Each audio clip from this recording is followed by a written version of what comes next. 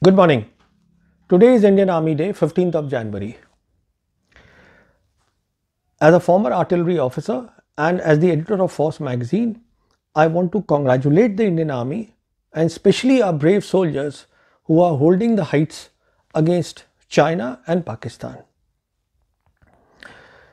Today, the Indian, at the Indian Army Day parade, which is a customary thing on the Cariappa grounds, there was an unusual demonstration. The commentator said that a swarm of 75 drones working autonomously will take out targets in a kamikaze mission. Kamikaze, as we know, is a suicide mission. And then the visual showed the drones. Those micro drones, they were quadcopters. Each drone had six rotors, and rotors, as we know, will help in the vertical takeoff and landing of the drones. So when you have six rotors each drone, you are looking at more flight stability and more safety, which is good. Then they showed us, the visual showed the targets also. Target 1, 2, 3, 4 till 10. So there was this fuel dump, there was the hostile radar station, there was the tank. And then they showed these uh, drones coming in and then in a self-destruct mode, suicide attacks, they destroyed the targets. So it all looked very good. Now my video is about this to first of all say that yes it was a good step which showed the capability of some of our startups in the private sector but I am looking at a bigger question. Now the bigger question that I am looking at is first of all was this really a swarm of drones and number two how good are these swarm of drones in a hostile environment that we will get in China and maybe even Pakistan now. These are the two issues. So what the commentator told us is that they were working, all the drones were working autonomously. Now we know there are various ways to communicate. Uh, the, if there was a ground controller, this was a very controlled demonstration. So it could be done wirelessly uh, if the line of sight permits, which was the case here or there could even be a satellite link which could be used or when we talk of uh, autonomous we are talking of smart chips being in each drone. Now these smart chips are pre-programmed for the task. What this means is that and this is not swarming when you have a pre-programmed smart chip. Now what this means is we all have seen you know at the olympics at the, at the light, lightning show there a grand spectacle looks very nice where the commentator says that there are hundreds and thousands of drone in the sky. And the commentator calls them a swarm. No technically they're not swarms. They are pre-programmed smart chip as i said. We have to keep in mind that we are talking of i'll explain what is swarming but we have to also keep in mind that we are looking at an extremely hostile and adversarial environment, both against China and perhaps even against Pakistan today because after Balakot February 2019, if there is one area where the interoperability between the PLA and the Pakistan military has grown manyfold, it is in the electromagnetic spectrum. And if we do not control, if we are not or we do not have a, a good capability in the electromagnetic spectrum, your drone warfare does not work in hostile environment. But I'll come to this a little later.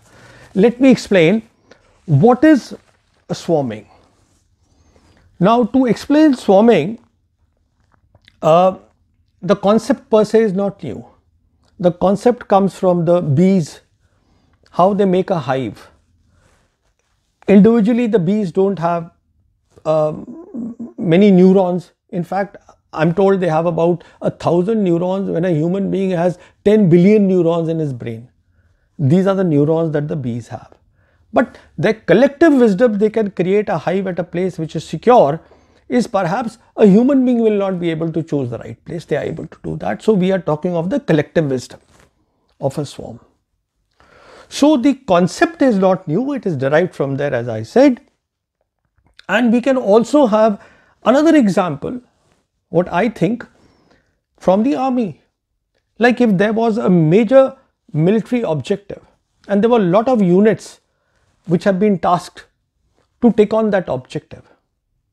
So, the units could be compared to the to the individual drones and then we could look collective action as a swarm.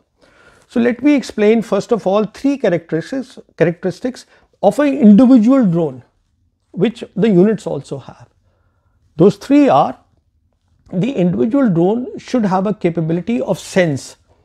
It should have sensors which should be able to gather information, data about the target in a hostile environment and about their own environment.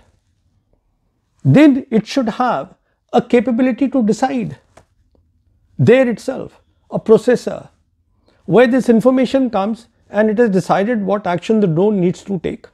And then the drone acts, which is the third thing. Then it has a payload, it has an effector, and the actuator then throws the payload. These are the three things. Now, when we are looking at a swarm, we are looking at very different characteristics. The first characteristic we are looking at is mass. You know, we could have something like even a thousand units, a thousand drones, a swarm of thousand drones. Much will depend on the capability, sorry, it has, and the task that it has been given. The second characteristic is of a swarm, it should be heterogeneous. It is wrongly believed that a swarm has all homogeneous elements, they all are alike and they all do the same task. No.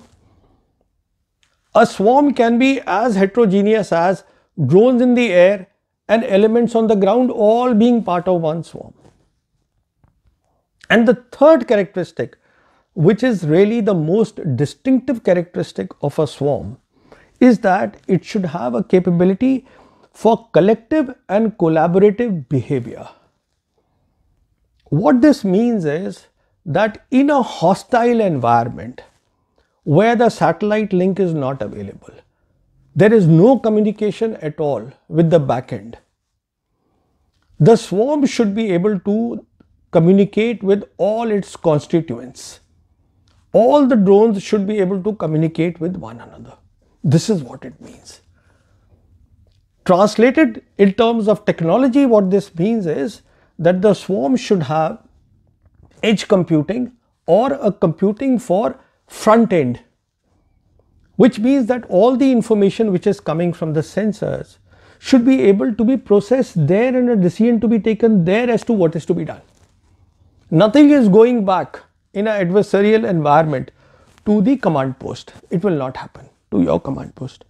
So that is the distinctive thing about this. And if there is another element, the fourth if I may add, is that if a swarm, a drone or a couple of drones they get detached from the swarm. They should have a capability of individual autonomy. They should be able to do the task by themselves then. So, what we are looking at is now you see this becomes complex and complex. And now we are talking about machine learning or deep learning algorithms both in the in the data links for the front end computing and we are also looking at machine learning algorithms in the drones. So the drones are intelligent, the communication is intelligent, the network is intelligent. This is what we are looking at. This is how complex it becomes. And then we are looking at a heterogeneous drone, swarm. Now, when we are looking at all these things, there is a debate amongst the major powers like China, America, they are wondering that how successful will be a swarming of this level be? Because now it becomes more like a military IoT, Internet of Things. What is IoT? A IoT is basically a military IoT where there is lots of data and one machine can communicate the data with the other machine and they can self-sustain and they can do the job which has been assigned to them there itself. So, this is the level of swarming that we are looking at. So, all major powers today are working on this. We should not draw the wrong lessons from let us say uh, Azerbaijan and the Armenian conf conflict which was a hostile environment, they fought. But please remember, the Armenians did not have a capability of counter drones. Now that capability also China has in, in, a, in a very huge way.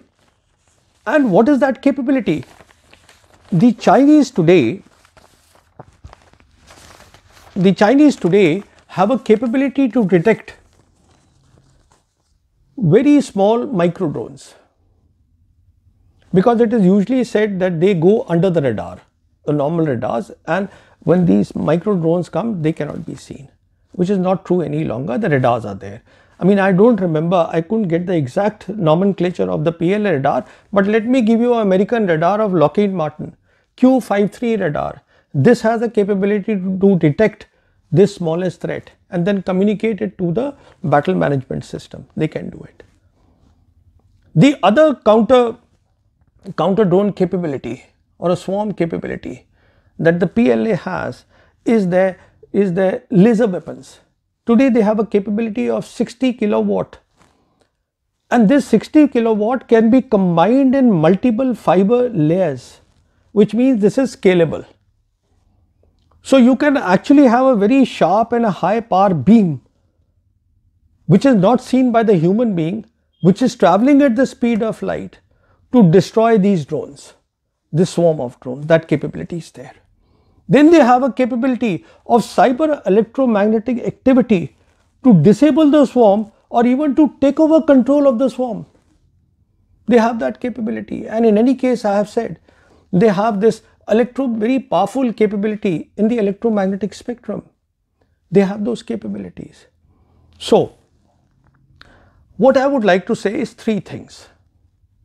My first point is that let's not get carried away that it will be simple or it will be possible to do any swarm drone action in a environment, a adversarial environment that is available today in China in their airspace. It is not possible to get in there unless we develop our capabilities in the cyber area, in the electromagnetic, uh, electronic warfare, electromagnetic spectrum management.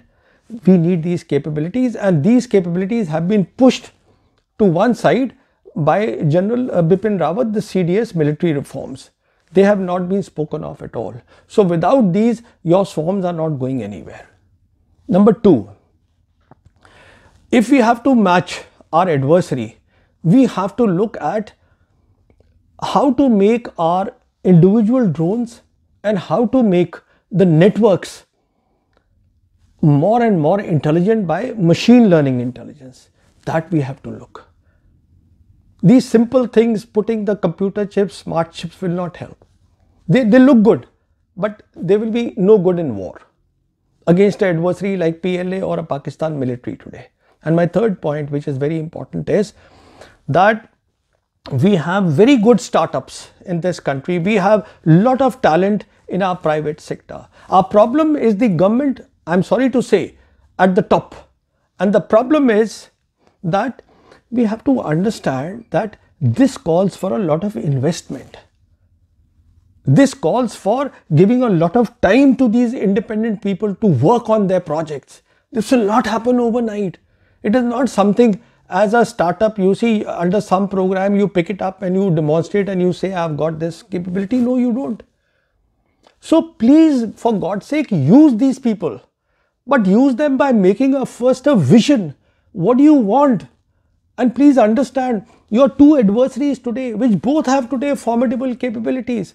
And then we should start talking of uh, swarming drones and not get complacent by seeing something here. Thank you so much.